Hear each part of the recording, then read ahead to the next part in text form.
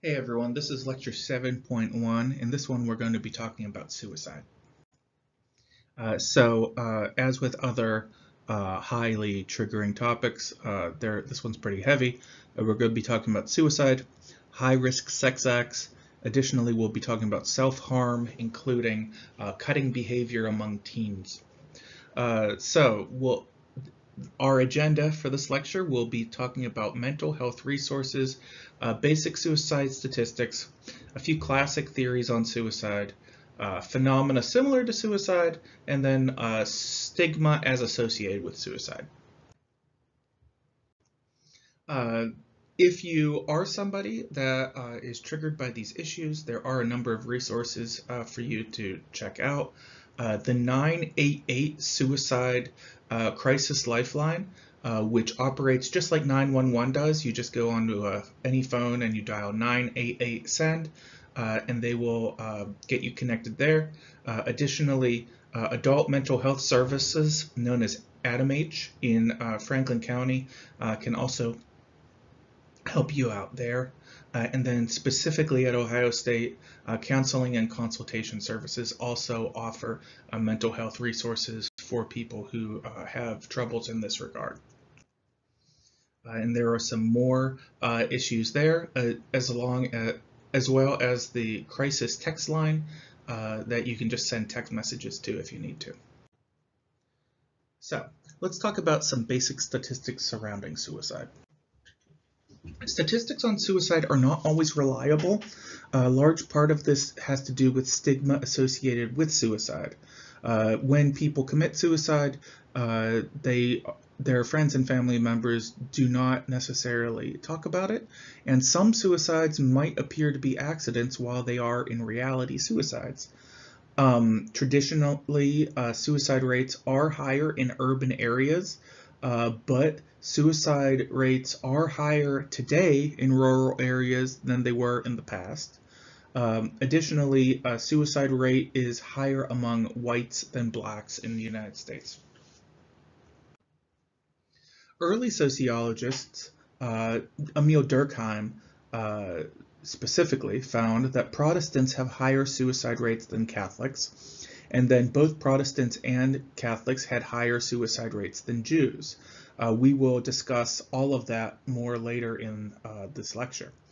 Uh, men then are more likely to kill themselves than women, but attempted suicide, also known as parasuicide, rates are higher among women than men.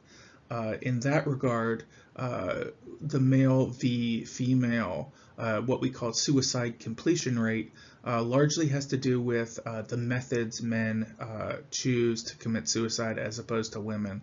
The fact of the matter is that us men tend to think we are far harder to kill than we actually are.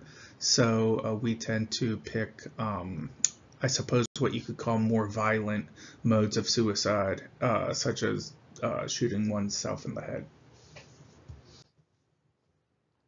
Uh, in uh, the United States, suicide rates tend to rise with increasing age. So a younger person is far less likely than an older person to commit suicide. Men are more likely to use lethal instruments such as firearms, as I just alluded to. And divorced persons have the highest suicide rates, while married people have the lowest suicide rates. Single individuals are somewhere in between uh, divorced people and married people in that regard. Findings on the relationship between social class and suicide are contradictory. They are uh, what you could say all over the place. There aren't really clear patterns surrounding uh, social class and suicide. Uh, so as a phenomena, uh, suicide has many conceptions surrounding it, and those conceptions have been present the entire time we've been studying them as sociologists. The reality of the matter is that depression, which we often think of surrounding suicide, uh, is a risk factor for suicide, but it is not the cause of suicide.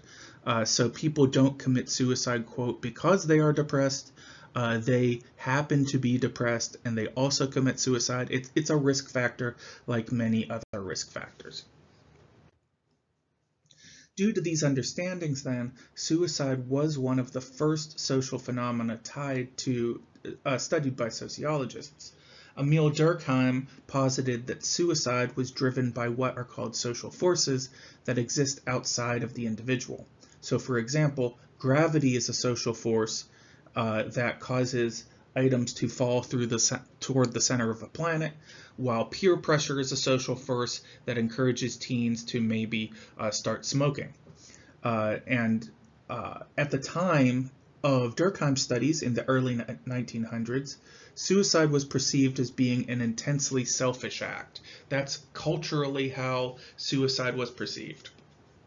So, Durkheim posited, if social forces existed, they would exist even in extremely isolated uh, individuals.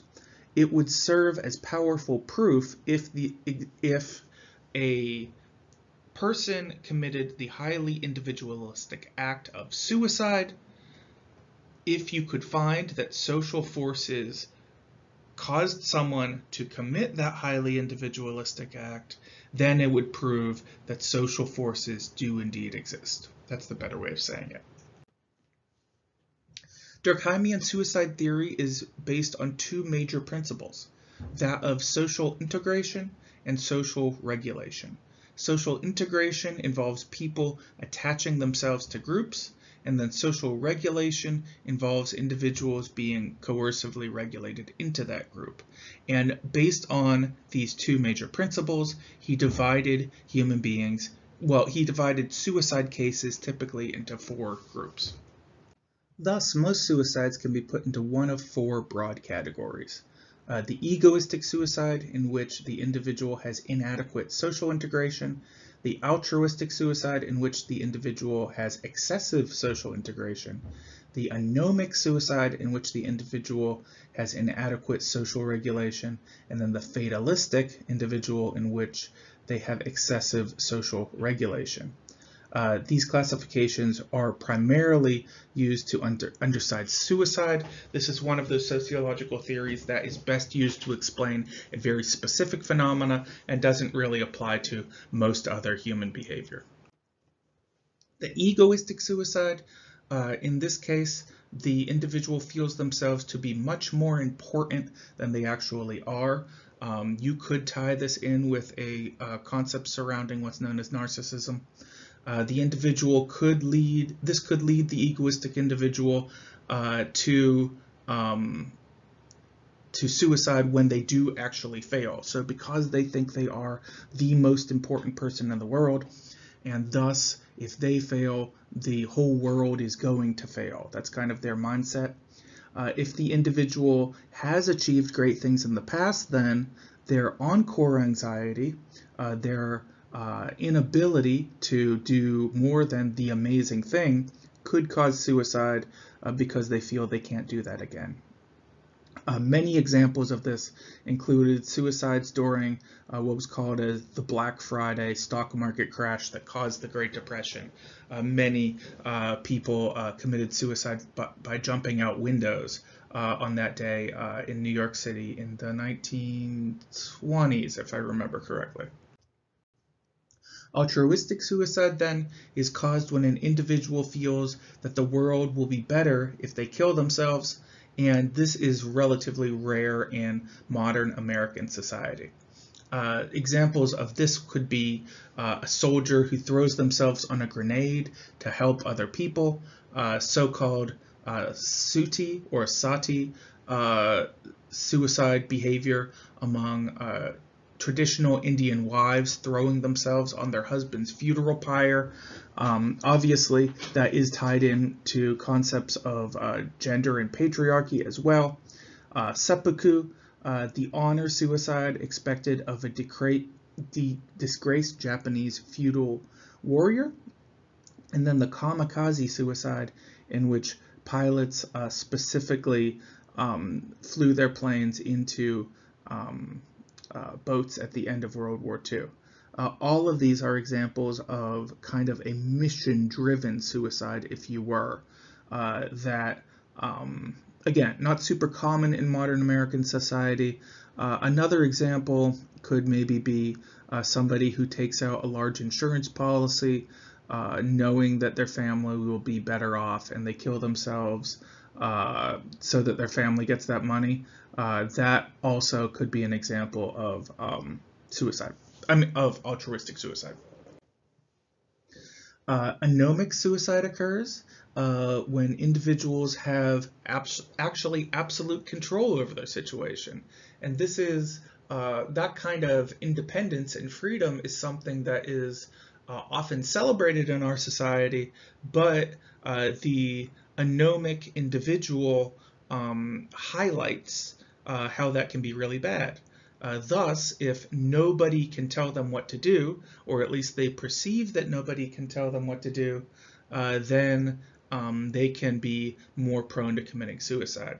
Uh, anomie is defined as the social condition and force of being without social regulation.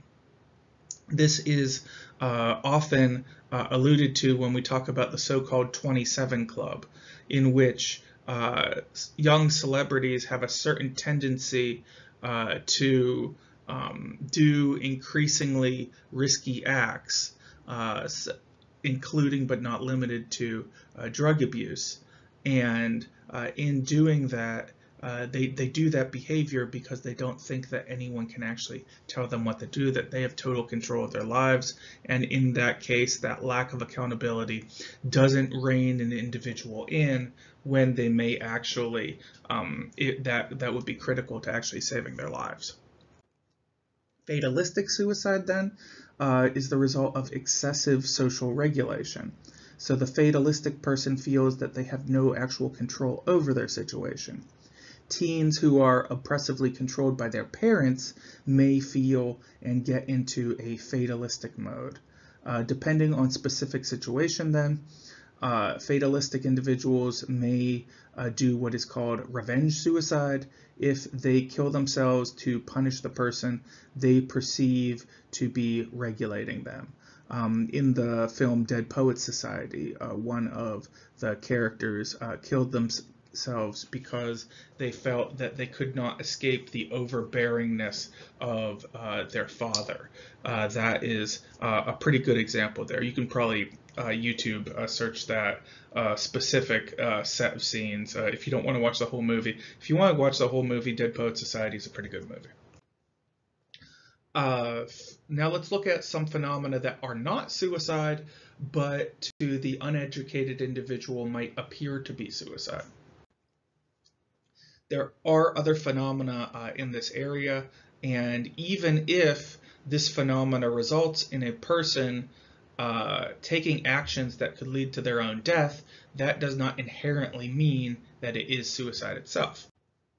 Autoerotic asphyxiation is one such example of a behavior that um, maybe was not is not intentionally meant to uh, cause death but could lead to it. Uh, the definition here being a sexual practice in which an individual combines masturbation with uh, simulated suffocation. It isn't inherently uh, related to masturbation. It could involve um, a, a, sexual partner, but um, but it's it's it's kind of murky right there.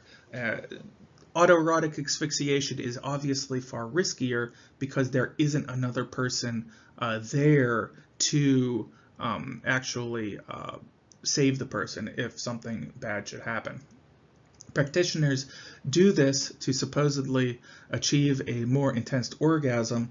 However, as pointed out by Janet Brito, who is a licensed and highly qualified sex therapy specialist, Autoerotic asphyxiation is truly very risky and may lead to serious injury, including cardiac arrest, brain damage from lack of oxygen, and death. So I am absolutely the kind of person to not tell people what they should and should not do sexually, but this is a, a truly very, um, it's very, very dangerous uh, of a thing. Euthanasia. uh, also known as assisted suicide, uh, is a healthcare procedure that is specifically designed to quickly end the life of the patient. And in places where euthanasia is legal, the patient must be suffering from a chronic, typically terminal disease. Uh, they must also be of sound mind and fully understand their situation. Um, so uh, where euthanasia does exist, uh, people who are not able to actually make sound decisions because of uh, usually mental Ill deep mental illness or maybe um, dementia of certain kinds, uh, that would not qualify someone for euthanasia. Uh, Mr. Escobar here uh, in Cali, Colombia, decided to die, and he did that publicly, becoming one of the first Latin Americans to end their life without suffering from a terminal disease under a Supreme Court ruling in Colombia, and there's a link there. Uh, basically, Mr. Escobar had a very uh, painful um, breathing condition in which it was not going to lead to his death immediately. It would have taken a very, very long time, but his quality of life was very, very low, so he decided to end his own life. The practice uh, of euthanasia is illegal, and because it is illegal, it is largely undocumented in most states. However, it should be pointed out that in Colorado, the District of Columbia, Hawaii, Maine, New Jersey, New Mexico, Oregon, Vermont, and Washington, it is legal in the United States. Uh, with that said, where it is illegal, it probably still happens relatively rare, relatively uh, commonly. Uh, most commonly, uh, this will look something like uh, doctors saying to patients or uh, the caregivers of patients, be sure not to take this amount of pills over this short of a period of time, thus telling them through through you know innuendo that this could cause death. Uh, euth euthanasia can be very controversial. Uh, many people who do object to uh, suicide, uh, to euthanasia, sorry, uh, different things. Uh, many people who object to euthanasia do so on religious grounds. Uh, the secular debate surrounding euthanasia, so the debate not relating to religion, uh, points out that there may be, uh, with people who are candidates for euthanasia, a so-called obligation to die, wherein uh, the patient may be kind of forced into the decision to kill themselves, uh, to uh, kind of put the end of the suffering to their family members, while uh, a actual functioning uh, euthanasia mechanic in society would exist so that people who are suffering can actually cause that to stop. Munchausen syndrome is another uh, psychological disorder that can appear to make the person uh, look like they are uh, suicidal. This may involve self-poisoning that could result in the serious illness or death of the individual.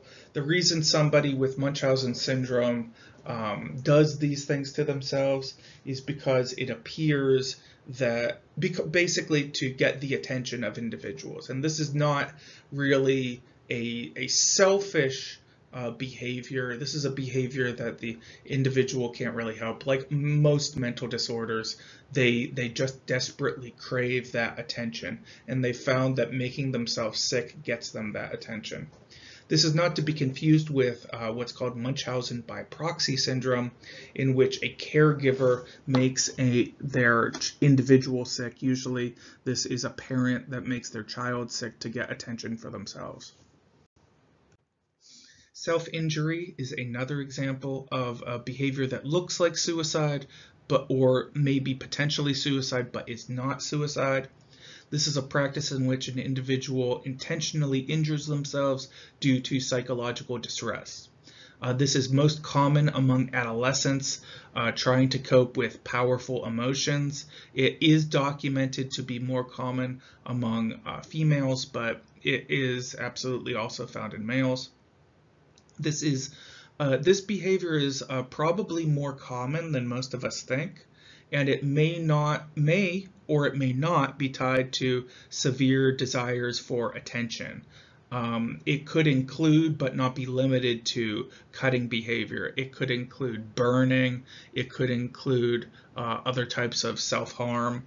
And uh, more severe cases of uh, self-injury, um, they attempt to hide their behavior. So this could be an individual, say, uh, instead of cutting themselves on their arm, they may cut themselves on their inner thigh uh, that obviously is is much more dangerous, uh, especially including the fact that um, there are uh, more uh, uh, vital arteries and blood vessels in the legs than there are in the arms.